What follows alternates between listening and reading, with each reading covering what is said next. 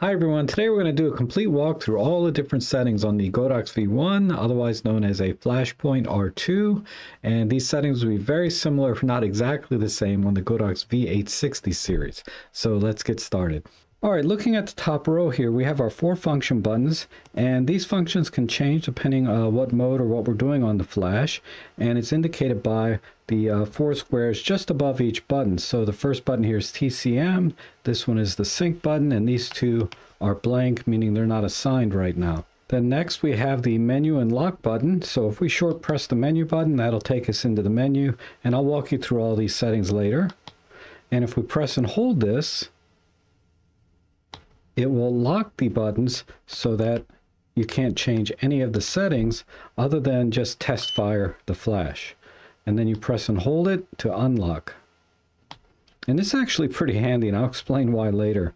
Uh, and then, of course, I just demonstrated the test uh, flash button here. And then over here, we have the uh, wireless selector button. And this will change the flash from just the on-camera mode that it's in now to uh, transmitter mode or master mode, as it's called sometimes, to slave mode or receiver mode.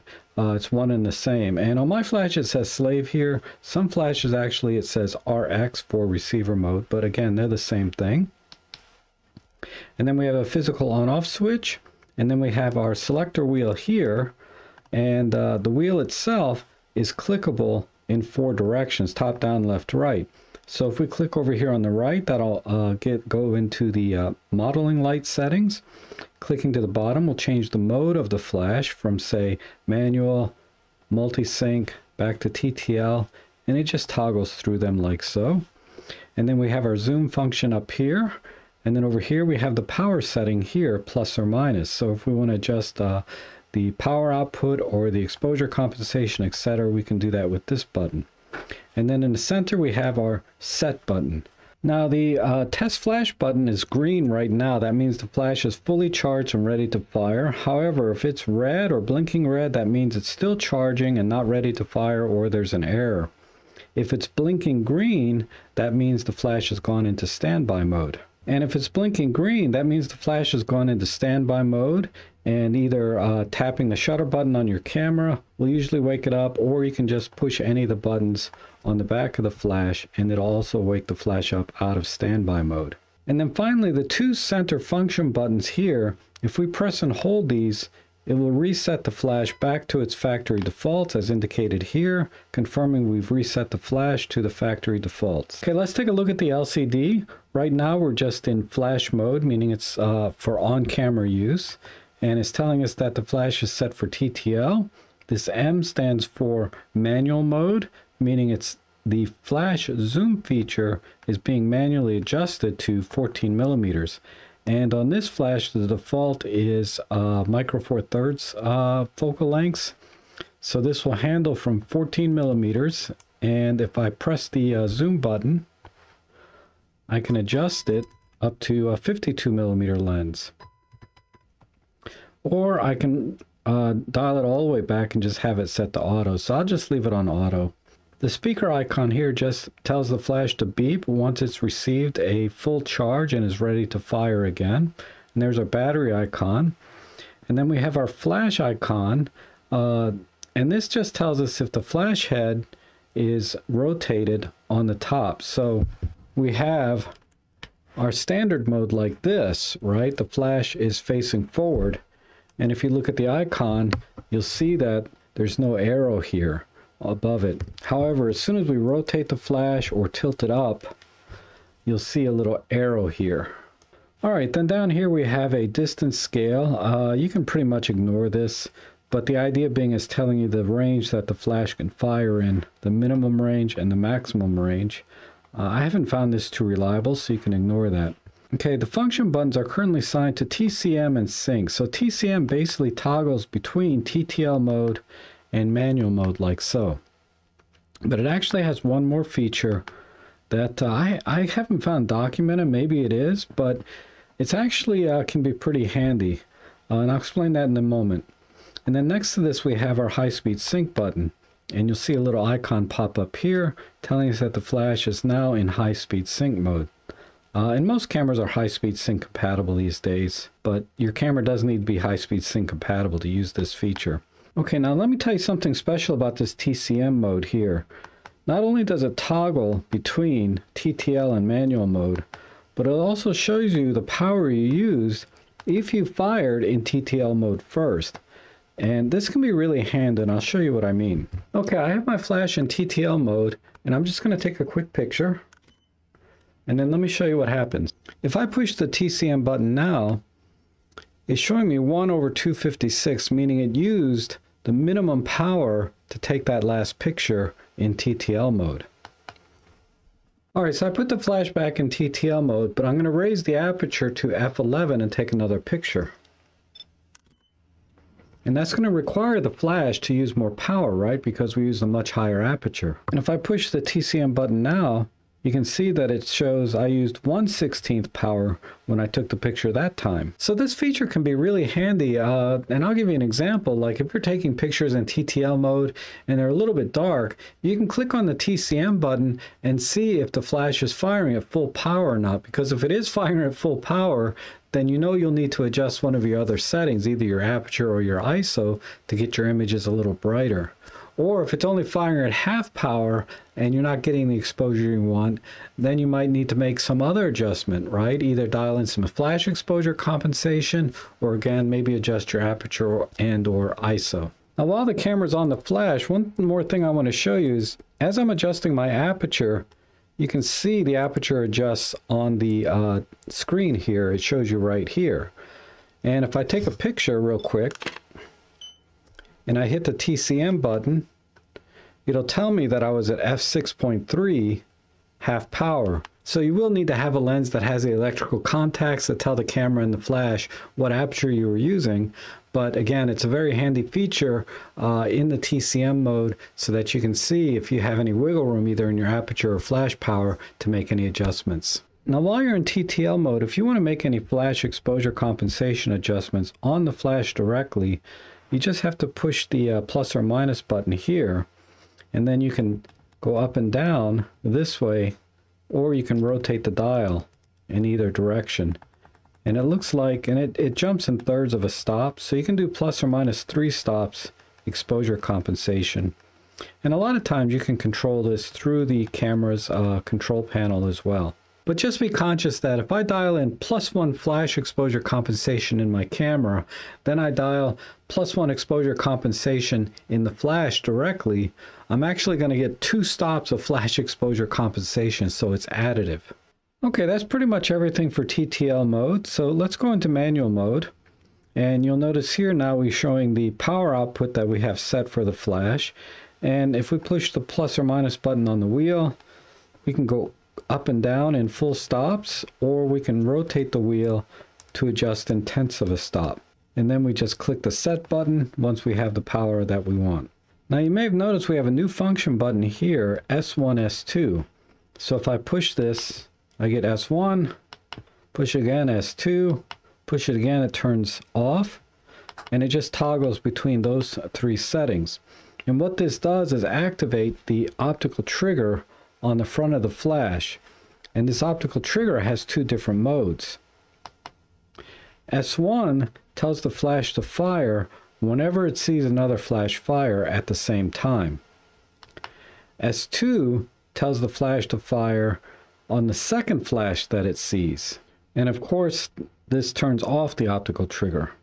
Now I want to show you one little oddity here is that when the flash is on the camera like I have it now, if I go into manual mode, you'll notice that the S1, S2 uh, function button is disabled. There's just nothing there, right?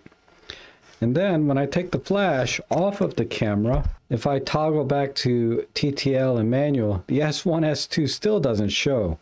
So what I've had to do is turn the power off and back on with the flash off of the camera and then I can go into S1, S2. So as I said before, the difference between S1 and S2 is when the flash is in S1 mode, it'll fire on the first flash it sees via the optical trigger, and in S2, it'll fire on the second flash it sees via the optical trigger. So let me give you a scenario. Let's say I have the TT350 here set up to fire in manual mode at say half power. And then I'm going to set up my V1 here to be in S1 mode, and I'm going to dial in whatever power I need accordingly. So when I take a picture with this camera, the flash will fire one time and trigger this flash to fire at the same time so I have two lights right on whatever subject I'm taking a picture of. However, if I have this flash set to TTL mode, when I push the uh, shutter button and take a picture, it's actually going to fire twice.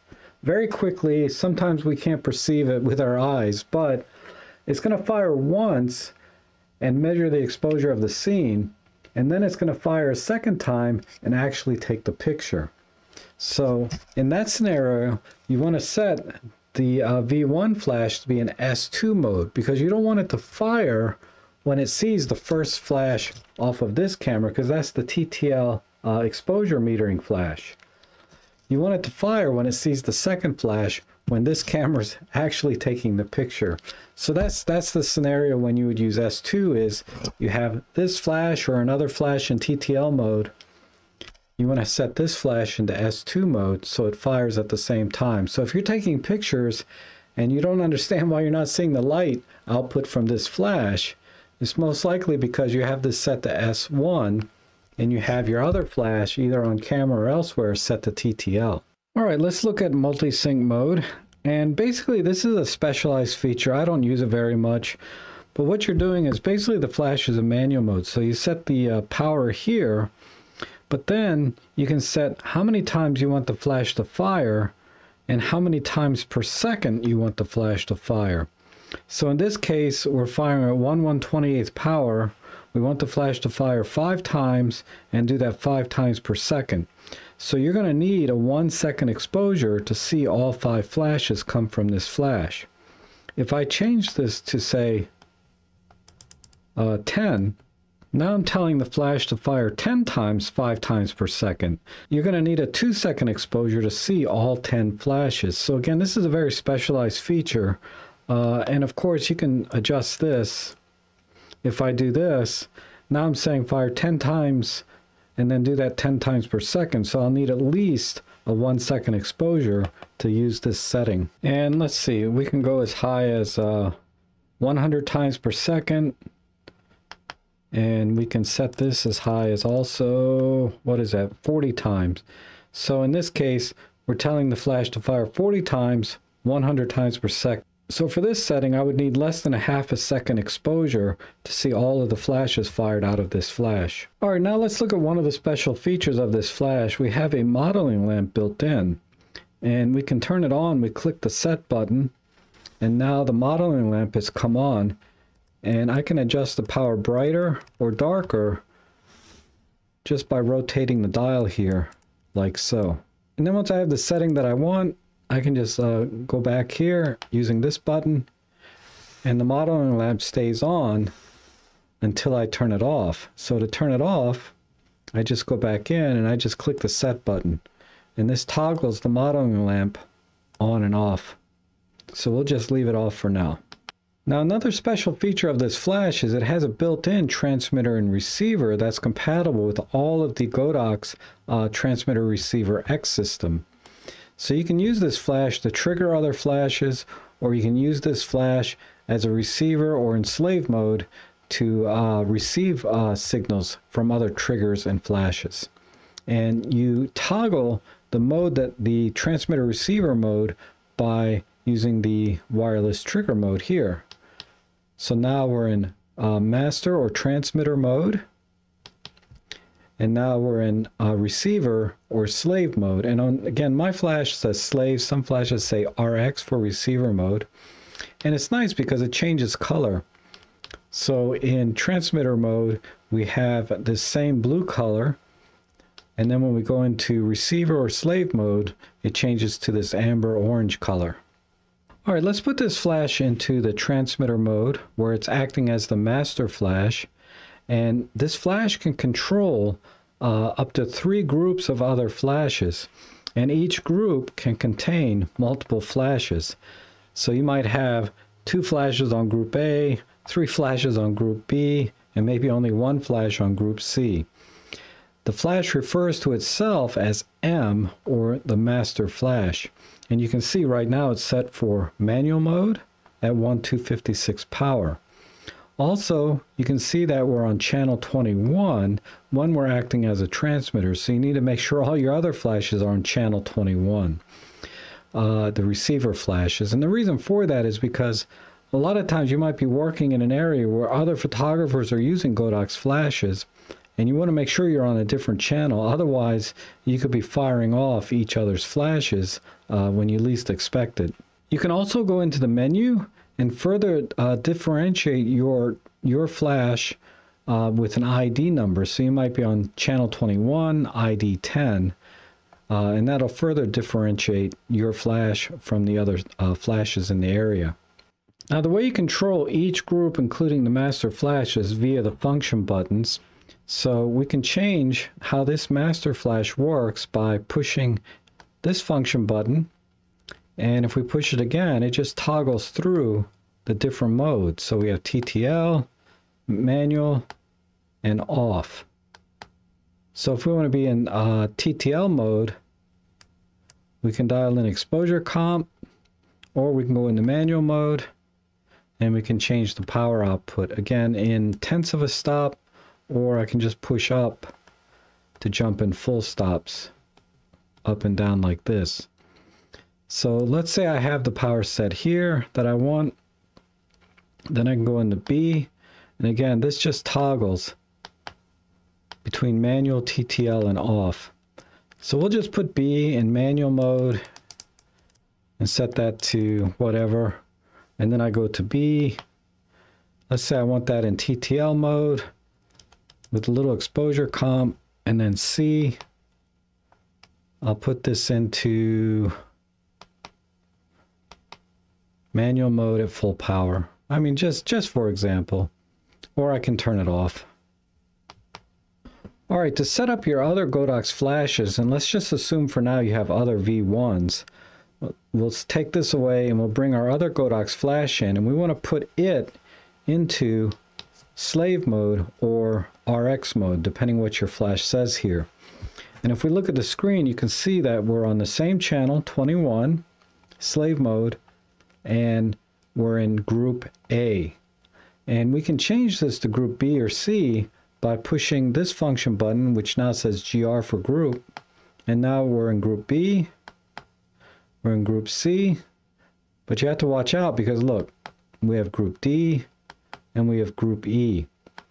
So the Godox V1 is actually capable of being in up to five groups, but actually only controlling up to three groups.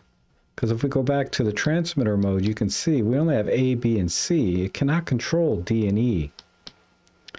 But if it's going to be on the receiving end, you can uh, control this and put it into group D and E. And the only way you can do that really is if you have one of these uh, radio triggers that has up to five groups. In which case, you can assign this to one of those groups, D or E. Now to change the channel that this flash operates on, and it doesn't matter if it's acting as a transmitter or receiver, once you set the channel, that's going to be the channel for both modes. You actually have to go into the menu. So we'll go into the menu, and we're going to scroll down to CH or channel, click the set button, and then here we can change it to whatever we want. And click the set button, and then go back out. And now you can see we're on channel 18. But just be careful and make sure that your transmitter or your trigger is also on channel 18. But you can see it changed it for both the transmitter and the receiver of this flash when I changed it in the menu.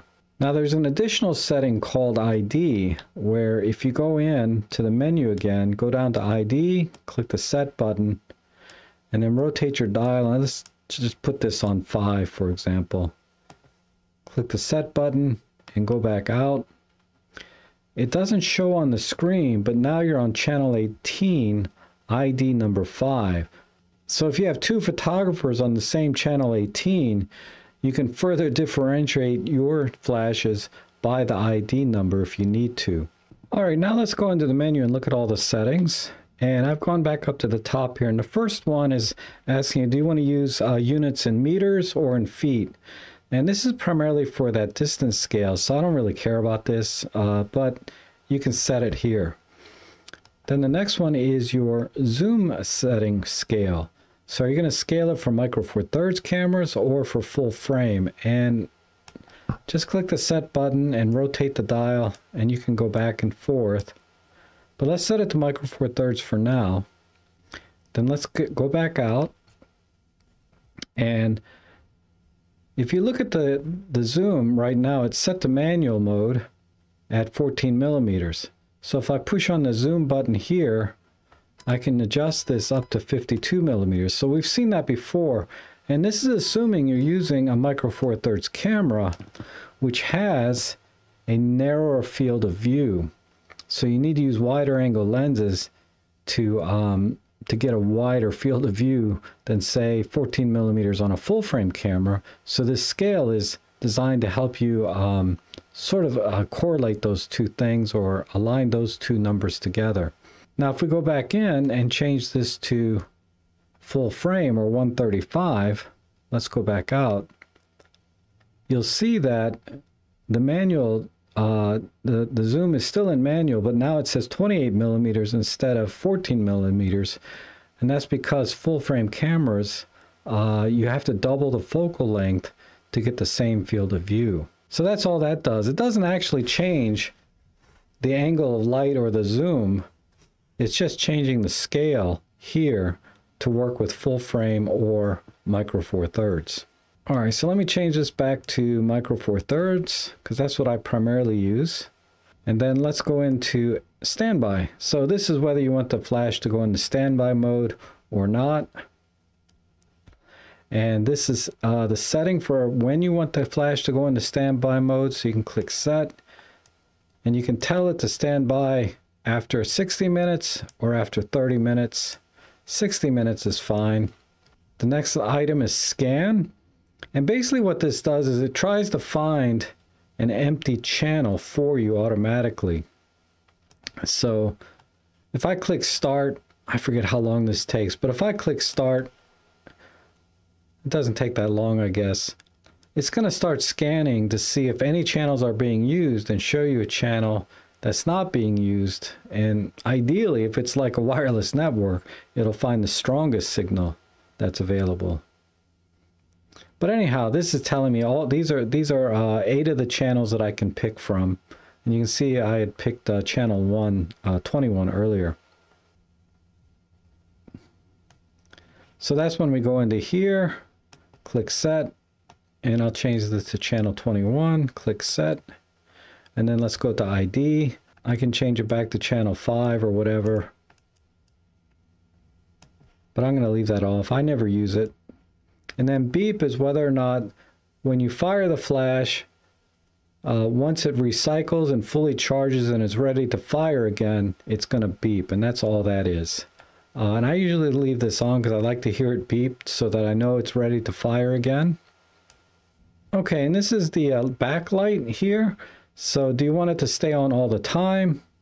Or do you want to turn it off? Or do you want it to stay on for 12 seconds, then automatically turn off? And that's what was happening in earlier in this video is I had originally had it set to 12 seconds and then I had to keep pushing the set button to turn it back on so you could see it. But I can turn it off or turn it on. I'll just leave it on for now, but normally I have this set to 12 seconds. And then finally is the LCD. And this just adjusts the contrast of the LCD. So if I want the letters to be very dark, I can set it to plus 3. Or if I want the letters to be a little bit lighter, I'll set it to negative 3. It, it may be a little hard to tell in the video, but this is lighter. Uh, zero is fine. All right, and that's everything I know about the Godox V1 or Flashpoint R2 or similarly the Godox uh, V860 series. Uh, the settings should be very similar, if not exactly the same. And um, in future videos, I'll be showing you how to use these flashes together, along with uh, I'm going to be doing a tutorial on this uh, trigger. So definitely subscribe. Stay tuned for that. Hit the bell notification. And if you found these videos helpful, uh, consider buying me a coffee or making a small donation in the links below. They're greatly appreciated. But I appreciate you watching, and I hope to see you again soon.